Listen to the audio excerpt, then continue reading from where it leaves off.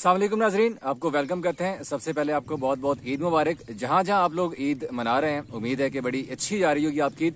आज की व्लॉग में हम आपको अपडेट देंगे कि पाकिस्तानी स्टार क्रिकेटर्स ने ईद कहाँ मनाई है। आ, क्या पहना था? उन्होंने ईद के ऊपर मैसेजेस क्या दिए?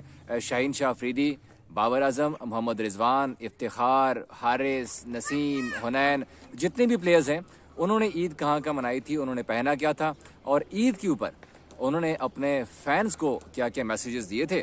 तो ये तमाम तर चीज़ें हम आपको बताएँगे कि किस खिलाड़ी ने आज फ़लस्तीन को याद रखा। और फ़लस्तीन के कपड़े जो थे वो जेब तन किए हुए थे। और इसके साथ साथ जो बाबर आज़म हैं उन्होंने आज ईद में पहला काम क्या किया? आ, साथ साथ शाहीन शाह अफरीदी ने ईद के मौके के ऊपर एक ऐसा काम किया कि जिससे यकीनी तौर पर सबके दिल खुश हो गए। तो ये तमाम तर तफसीत मैं आपको आज के इस वीलॉग में बताने जा रहा हूँ। मोहम्मद आमिर का और इमाम उल हक का नाम भी मैं नहीं भूलूँगा क्योंकि उन्होंने भी ईद जिस अंदाज में आज सेलिब्रेट की है तो ये तमाम चीज़ें आपको आज की वीलॉग में बताऊँगा। तो सबसे पहले कप्तान बाबर आज़म की बात करते हैं क्योंकि यकीनी तौर पर बहुत सारे फैंस हैं, जिनको बाबर आज़म के ईद का इंतज़ार था कि आज बाबर ने क्या पहना हुआ था और बाबर ने ईद कैसे मनाई। तो बाबर आज़म ने लाहौर में अपनी फैमिली के साथ ईद मनाई है।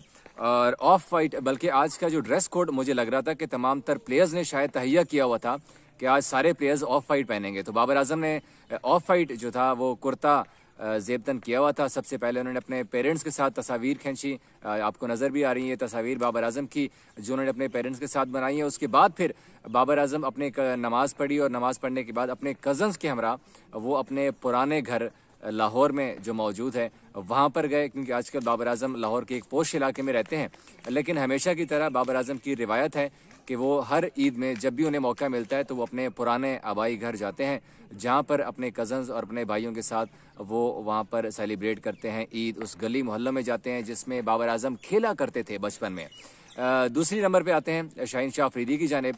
तो शाहीन ने भी आज ऑफ़ वाइट पहना हुआ था और लंडी कोतल में शाहीन शाह अफरीदी ने ईद मनाई अपनी फैमिली के हमरा लेकिन सबसे अच्छी जो चीज़ थी शाहीन की। उन्होंने अपने फैंस को तो ईद विश किया और साथ में फैंस को ये भी कहा कि वो अच्छे तरीके से ईद को सेलिब्रेट करें, लेकिन उन्होंने बच्चों के साथ क्रिकेट खेली।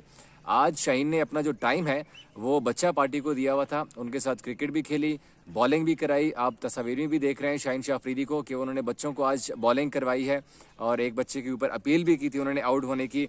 दूसरे नंबर पर बात करते हैं फास्ट बॉलर मोहम्मद आमिर की, जिन्होंने भी रिसेंटली अपनी रिटायरमेंट वापस ली है। तो मोहम्मद आमिर ने भी कुर्ता पाजामा जेबतन किया हुआ था। लाहौर में मोहम्मद आमिर ने ईद मनाई है अपनी बेगम के साथ, जो था वो सेलिब्रेट किया और कुछ तस्वीर भी अपनी सोशल मीडिया अकाउंट के ऊपर अपलोड की हैं अपनी बेगम के साथ।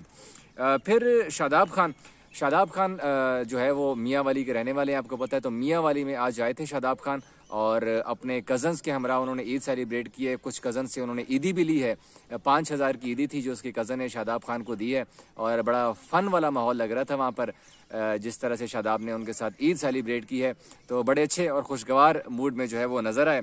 इसी तरह से नसीम शालवता तमाम खिलाड़ियों से वो अलग नज़र आए। उन्होंने ब्लैक जो है, शलवार कमीज़ पहनी हुई थी, साथ में पश्तों का वो जो ब्लैक कलर के ऊपर एक गाने बने हुए हैं ना, वो गाना भी अपलोड किया हुआ था और लाहौर में नसीम शाह ने ईद मनाई है। फिर है अब्बास आफरीदी, उन्होंने पिशावर में अपने चाचू उमर गुल के साथ ईद मनाई। और उमर गुल से उन्होंने ईदी भी ली है सौ रुपए की ईदी दी, वैसे उमर गुल ने, अब्बास आफरीदी को। इफ्तार और रिजवान ने पेशावर में ईद मनाई, लेकिन सबसे अच्छी जो चीज़ थी कि इफ्तार अहमद ने आज फ़लस्तनी जो भाई हैं, जो मजलूम फ़लस्तनी हैं, उनको आज भी याद रखा और तमाम तर फ़ैन से रिक्वेस्ट भी की कि आज ईद के इस खुशी के मौके के ऊपर अपने फ़लस्तनी भाइयों को ना भूलना। मैं अज़हर अली का खसूसी ज़िक्र करना चाहूँगा कि अज़हर अली ने लाहौर में ईद मनाई, लेकिन जो झंडा था फ़लस्तनी, झंडे के रुमाल अजहर अली ने जेब तन किए हुए थे अपने बच्चों के, जो थे अजहर अली के, उन्होंने भी फ़लस्तनी झंडे के रुमाल पहने हुए थे और ख़ुद अजहर अली ने भी फ़लस्तनी झंडे वाले जो रुमाल थे वो पहने हुए थे। मोहम्मद आरिस ने भी वाइट जो था कुर्ता, शलवार, आबाई गाँव, जो उनका मुश्तर जई है, खैबर पख्तूनख्वा में, वहाँ पर ईद सेलिब्रेट की है। इमाम हक ने भी ऑफ़ वाइट कलर पहना हुआ था। लाहौर में अपनी बेगम के साथ पहली ईद थी और अपनी बेगम के साथ मुख्तलिफ़ तस्वीर जो थी, वो अपनी सोशल मीडिया अकाउंट्स के ऊपर उन्होंने अपलोड की। हसन अली ने भी गुजरावाला में अपनी फैमिली के साथ ईद मनाई। अपने जो बेटी हैं, उनकी हेलिन और दूसरे बेटे के साथ अपने ईद मनाई। महरान मुमताज़ ने जिस तरह से मेरे शलवार कमीज़ का कलर आपको नज़र आ रहा है, उस तरह से इस्लामाबाद में उन्होंने ईद मनाई और अपना जो तस्वीर है, वो अपने सोशल मीडिया अकाउंट्स के ऊपर अपलोड की हैं। लेकिन जो आज मुझे मैसेजेस नज़र आए तो इफ्तार अहमद और खसूसी तौर पर अजहर अली का, कि उन्होंने आज इस खुशी के मौके पर भी फ़लस्तनी आवाम को याद रखा और फ़लस्तनी जो मजलूम भाई हैं, उनके लिए खसूसी दुआओं की रिक्वेस्ट भी की है। जबकि कप्तान बाबर आज़म ने भी अपने तमाम फैंस को ईद की मुबारकबाद देते हुए जो मैसेज था, वो यही था कि आप ईद मनाएँ, अपनों के साथ मनाएँ, लेकिन हँसी खुशी और सबको अपने साथ लेकर चलना है। तो ये तमाम तर मैसेजेस थे जो कि आज पाकिस्तानी प्लेयर्स ने अपने सोशल मीडिया अकाउंट्स के ऊपर, अपने फैंस को दिए इस खुशी वाले मौके के ऊपर। उम्मीद है कि आपकी भी ईद अच्छी जा रही होगी। एक बार फिर से आप तमाम दोस्तों को ईद मुबारक।